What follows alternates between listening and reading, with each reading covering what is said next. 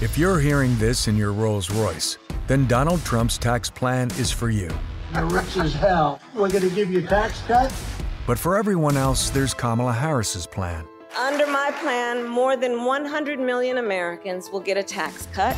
Because that guy in the Ferrari doesn't need another break. But Kamala Harris knows you sure could use one. Paid for by FFPAC, ffpac.org. Not authorized by any candidate or candidates committee. This podcast is brought to you by TeamTrait, a digital solution that helps you hire, optimize, and retain employees. Using psychometric assessments to identify more than 100 professional mindset traits, it gives instant reports you can use to build high performing teams. Get two free profiles today, no commitment, no credit card required, at teamtrait.com. Team, T R A I T.com. Welcome to the Manage Smarter podcast with hosts C. Lee Smith and Audrey Strong. We're glad you're here for discussions on new ways to manage smarter, hire, develop, and retain talent, improve results, and propel team performance to new heights.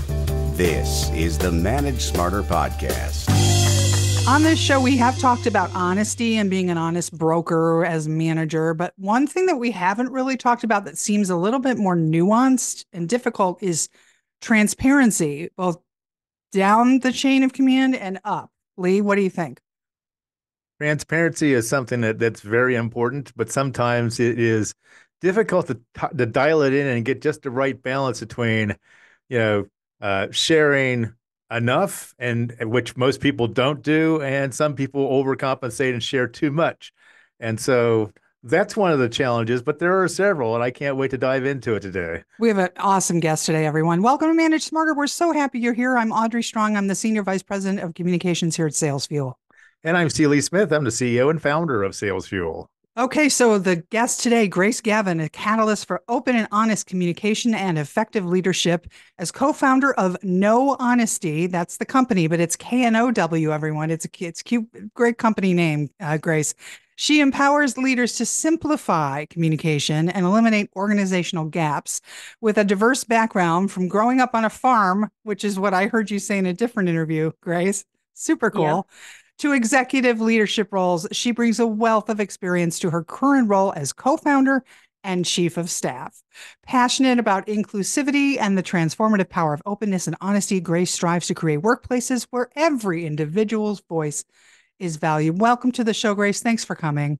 Awesome. Thank you so much for inviting me and having me here, Audrey and Lee. This is going to be a great conversation. Agreed. So, um, you say honesty and transparency can solve a lot of problems. And on your website, you list that it will reduce anxiety, ease aggression, less self doubt, limit neurotic control, and less indecision. I kind of was wondering uh, how indecision is related to transparency. That was something hmm. I, I said to Lee when we were prepping for the show. I'm like, I don't know how you put those two things together. I don't know. It might be a fun place to start. Yeah, absolutely. And that is because honesty at the root of it, as we define it, is being truly and freely yourself, speaking into what you want and how you feel. And the reason that lowers um, indecision and and reduces a lot of ambiguity and, and things like that is because we know where everybody stands. And so not only are you getting clarity on where you stand and what it is that you really want, which helps you to make decisions faster because you're not sitting in that, oh, I don't know, maybe this, maybe that, not sure. You you know what you're after, you know what you want. And then when you have teams of people that know how to do that, that's where the indecision just melts away because we know what we're after, we know what we want. We're making effective decisions because of that, moving faster without it feeling wildly fast. The other thing too is like when you have blanks, you know, uh, when, when, and you're leaving it to people to fill in the blanks. Mm-hmm. You have some people then that don't know how to assume positive intent. So what happens is they fill in the blanks with things that are either negative or so off base or whatever that that that's not possibly what the other person intended. And then you have now you've introduced bad data into the equation, so you get garbage in, garbage out. Does that does that sound about right? Yeah, absolutely. We tend to, as human beings, color things that we don't know or the gaps with our own assumptions and, and and stories that we've gone through before. And so where that comes in on the other side of communication is openness. And that's listening without reservation, putting your needs and wants on pause for someone else. So when you can really listen to somebody and when you don't fully understand there's a gap there, rather than making that assumption, asking another question, being really open to what it is that they have to say, that helps clear up those gaps too. Before we get too far down the road, it's like you, know, you, you mentioned story. I want to ask about your personal story. Was there an event or something that that that happened, you know, in your story then that led you on this journey toward championing then open, honest communication, transparency, and everything like that? What happened?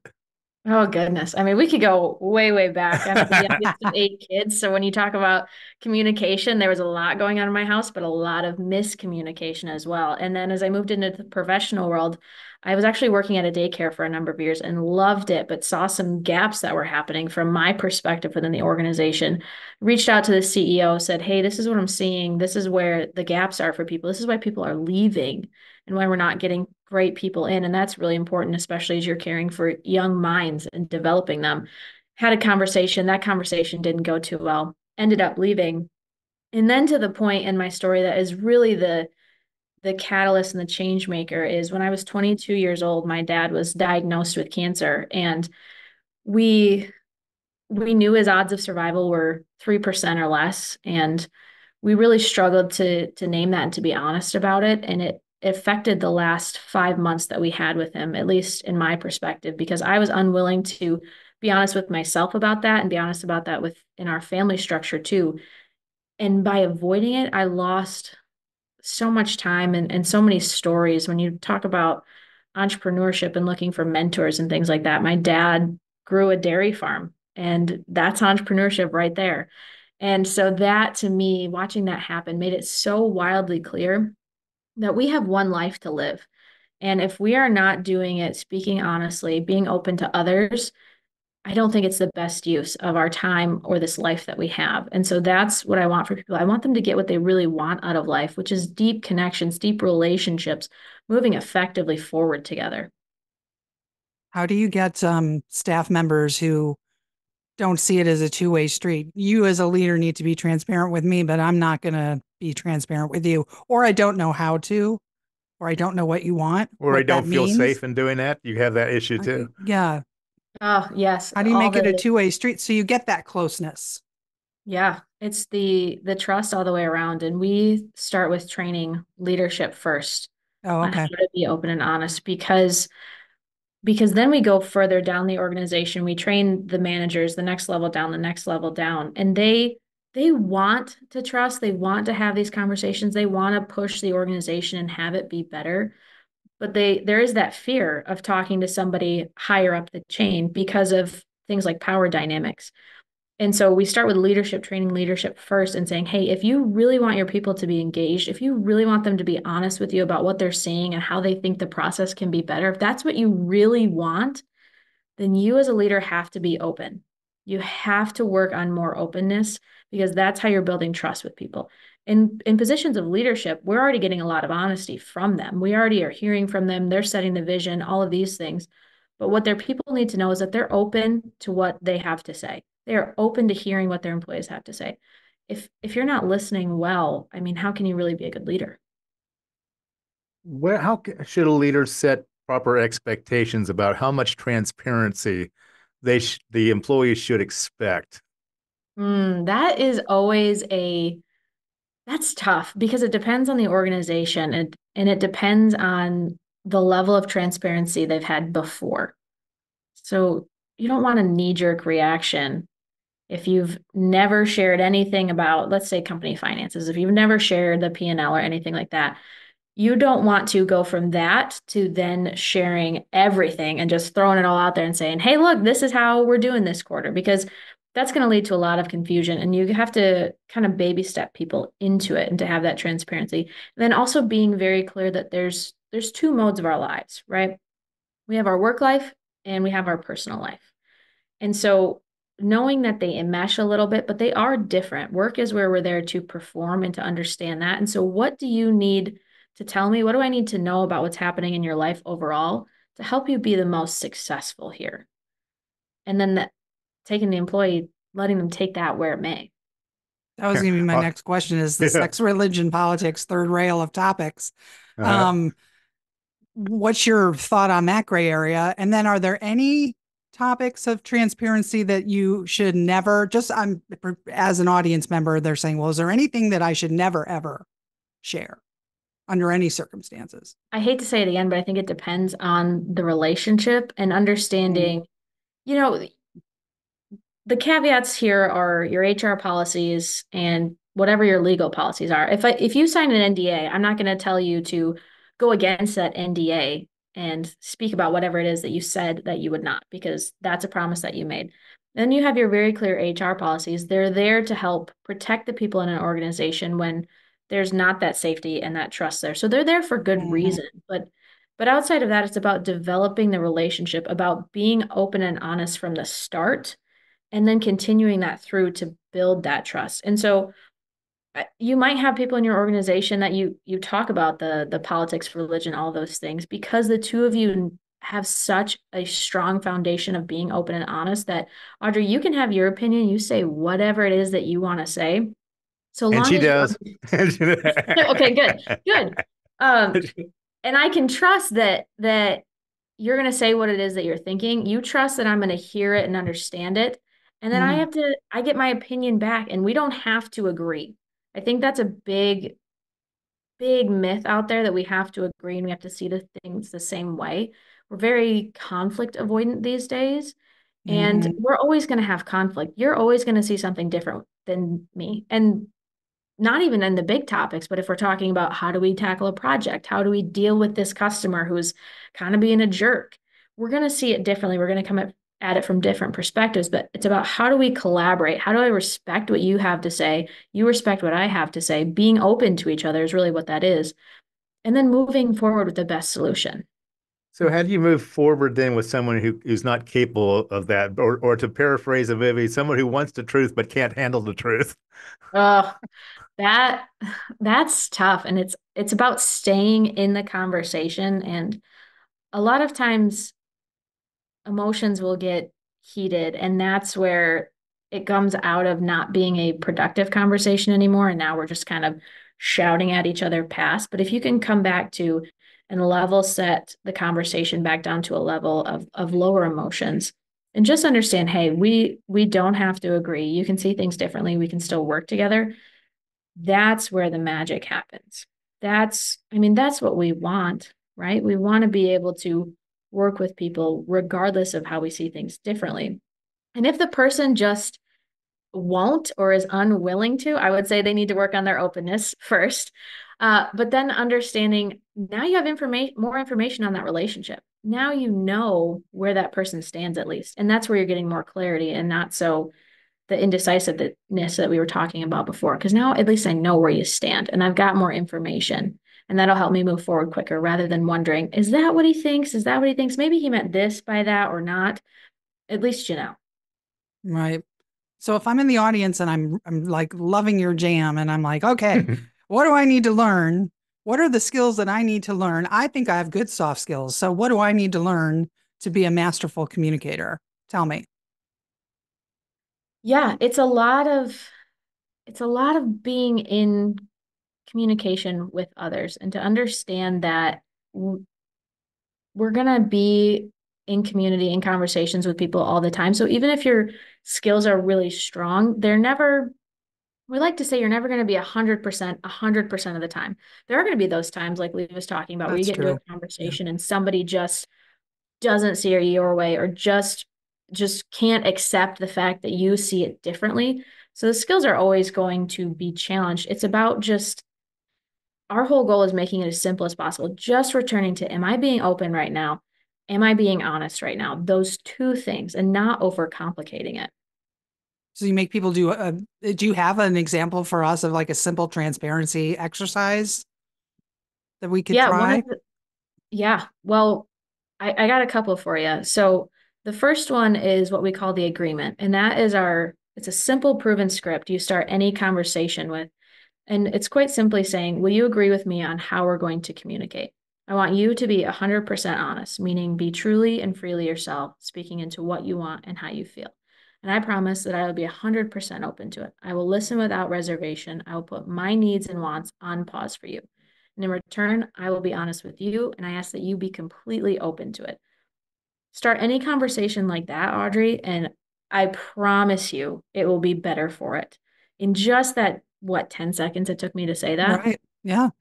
So that's that's one. That's called the agreement. I use that all the time with my with my clients, with my team members, with our vendors. It's I love it. Um, and then the second one is what we call fake you. And so fake you is the facade we project rather than being 100% honest. So when we talk about what's blocking us from being honest and what can we continue to work on, considering where in your life are you fake you? Is it the conversation that you have with that one team member that you just kind of nod and agree with because you don't want to get into the conflict? That's a version of being fake. Is it when you are blowing off off the handle because you've bottled in your your feelings on this particular topic and you can't hold it back anymore. And you're not somebody who usually flies off the handle, but that's another version of fake you. And it shows up in so many different ways for people. But where are the places where you're projecting that facade rather than speaking into what you want and how you feel? And then finally, the third one is on the other side, on the openness side, is called the wall.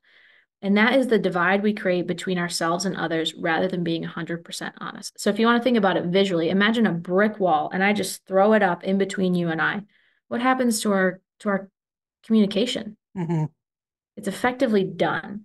And we're doing that all the time to people, whether we disagree with them, we think they're kind of weird, or they've said something that makes us angry, or maybe there's there's a part of us that we're trying to protect and there's some fear going on all of that's not serving us and we have to understand where do i put up the wall to the individuals in my life for me personally it happens when uh, my business partner he'll bring a new idea to me and i'm i'm deep in the middle of a, a project and like nope no new ideas. Can't hear that. I am not open to it because because i see the new ideas 12 other steps of things that we got to go to. And that's not what he's saying at all. And so i need to lower that wall back down and just hear okay yes this is a new idea. Most of them are actually fantastic if I take the time to sit there and listen and understand and then and then I can move forward much more effectively of like, yes, great idea. Let's put it here and we'll come back to it in a week. Mm-hmm. I, I want to go back to something you you said about the person then that that uh, flies off the handle or just you know just can't take it anymore and so they just you know they they blow up and like that. I would argue that that's not fake. I would argue that what's fake is bottling those emotions and put tamping those down and not actually expressing how you feel in the moment is actually the fake you. What would you say to that? I would say that you're absolutely right. And it's both because both are on the extreme. So if you're bottling it up and you're not saying anything, you're not sharing, that is being fake. Yes, absolutely. But then getting to the point where the the lid pops off and you're you're blowing off proverbially and very angry, that's also not you when you're centered and focused and really speaking to what you want. So imagine you say like you yell I hate you at somebody, but you don't really hate them, do you?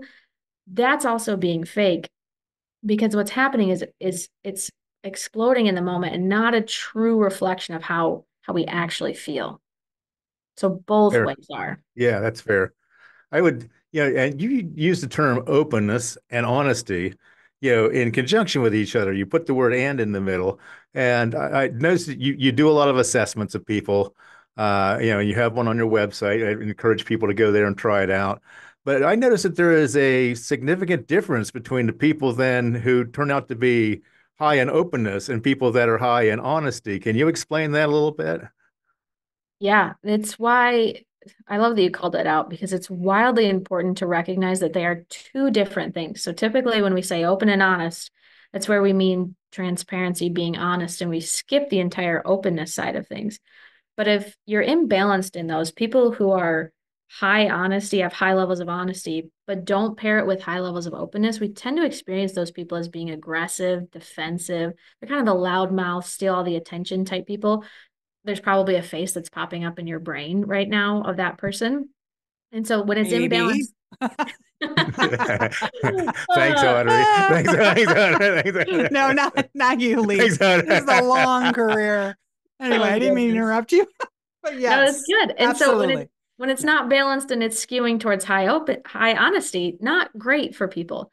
But on the same time, when it's skewing the other way, and you've got a really effective skill of being open, but you're not honest, that's when we tend to experience people as being uh, passive, stagnant, indecisive, insecure. And that's not to say that those people are those things, but that's how they're being experienced because there's not that honesty coming in as well, where they're sharing where they're at. They're just taking it all in, taking it all in. And the world needs more openness, but we need your honesty alongside it. They got to come together. They're two halves of communication. I have my last question, then Lee will take the last question. Um, I've worked for large global Fortune 500 companies where none of what you champion is present. It's just a dog eat dog. I'd step over your dead grandmother to get ahead kind of a culture. When you're interviewing around for jobs, uh, what are the questions you should be asking the interviewer um, to to probe about these things and if it really is a culture? Because I mean, some some companies they're just never going to do this stuff. I mean, mm-hmm. and, and if yeah. it's important to you, you don't want to go somewhere where there's none of this. Yeah, absolutely. It it is more difficult in larger corporate settings. Okay. unfortunately, smaller companies might of, be better then. Yeah, potentially. Mm-hmm. But the the question is that I would ask is how how will my ideas come to fruition? How will I be able to to help improve the company? And what that's really asking is where are the places where I can be honest to bring what I'm seeing, the struggles and the opportunities that we have. And if they have a a clear understanding of that and also asking hey what kind of training are you doing for your people because I, I don't whether you work with us or you work with another organization across any any corporate large organization small organization we need to continually be developing our people and what that will tell you is if they have a growth minded culture because that's what all of this is right i have to be able mm-hmm. to be mm-hmm. open to you to learn something different to be able to grow and if there's a culture of that then then chances are much better than those that don't have anything like that. Lee last I'm, question. I'm curious about your thoughts on uh, how you feel ai will impact transparency and honest and open communication. I mean for starters one of the things that we always do is that when we use ai or whatever we always are very transparent about and say yes that this was aided by AI. Mostly we do it to protect ourselves because AI makes mistakes and makes stuff up occasionally. And, you know, so we don't, we want to make sure that we're transparent about that. But also then it's like, I, I know some people that, that when they use it, it's like, it results in communication that is safe and sterile and is not really honest, it, it, truly honest. And it, it's not, doesn't feel real. Uh, what's your take on it? I think you're absolutely right in in being safe. And to me, that's a real shame and that's a real miss because if we don't step into the discomfort, if we don't step into the danger a little bit with other human beings and have conversations that make us a little bit nervous. Like if I'm asking somebody to be honest with me, I don't know what they're going to say and to to be open to that is is a big ask. And I think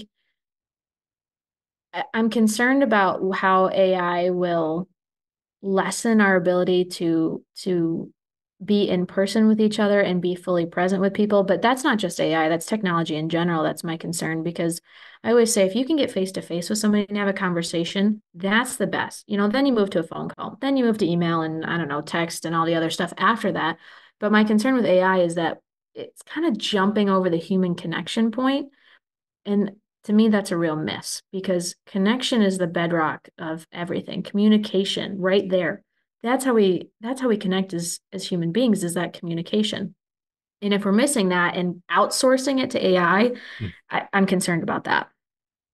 Well it's all fascinating. Um it's been great talking with you. Grace dash gavin is your linkedin Know Honesty on Facebook and knowhonesty.com is the website. Grace, thank you so much. And how do you want people to reach out to you? What's your preferred method? Uh, website? Thank you so much. This was an awesome conversation. Best way to connect with me is on LinkedIn. And then okay. if you if people want to get the numbers on where they currently stand with open and honest communication, like Lee mentioned, our assessment on our website is free to take, and that's knowhonesty.com backslash assessment. Again, K N O W, little play on words there.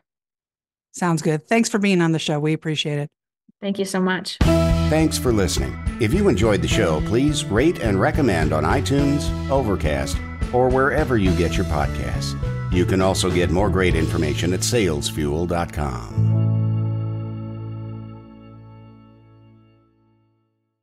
This podcast is a part of the C Suite Radio Network. For more top business podcasts, visit c-suiteradio.com.